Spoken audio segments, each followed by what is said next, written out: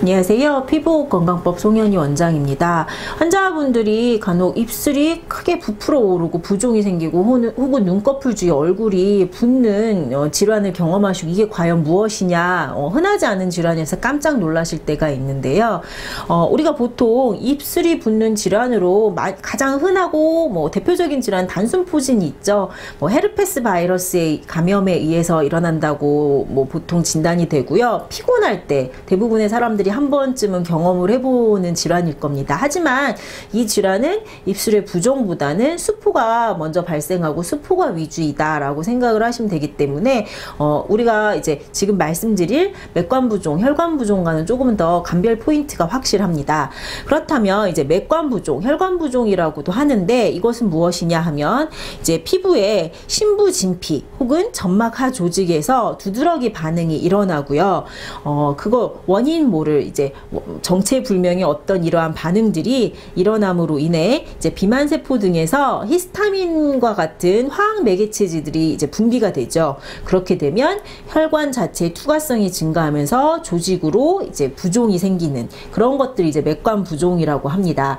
아무래도 붓는 증상이기 때문에 피부가 얇은 부위, 입술이나 눈꺼풀 주변과 같은 피부가 얇은 부위나 혹은 점막 부위, 이제 혀라든지 아니면 이제 인후부의 점막에 주로 호발하는 것이 이제 맥관 부종, 혈관 부종의 특징입니다.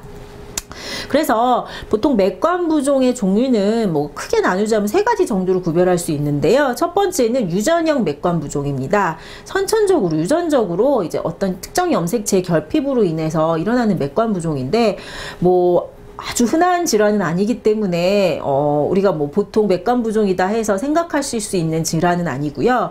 두 번째는 급성 직시형 알레르기 반응으로 인한 급성 맥관 부종이다 라고 생각하시면 되는데 뭐 간혹 이제 뭐 벌레에 쏘였다든지 아니면 뭐 어떤 특정한 알러지가 있는 물질에 접촉했다거나 뭐 예를 들어 뭐 땅콩 알러지 같은 것도 있겠죠. 그걸 먹고 나서 갑자기 혀가 부풀어 오르고 입이 부, 그 입, 호흡이 마비되고 뭐 이런 증상들이 급성 맥관 부종에 해당합니다. 그리고 이런 경우에는 이제 그런 원인 유발 물질들을 제 피하고 회피하고 그다음에 이제 항히스타민제나 에피네프린을 투여하면 이제 수일 내에 수시간 내에 호전되는 것이 일반적인 맥관 부종이기 때문에 뭐 이런 것들을 경험해 보신 분들은 그런 물질들의 접촉을 피하는 것을 다 알고 계시고 우리가 뭐 크게 고려할 만한 맥관 부종은 아닙니다.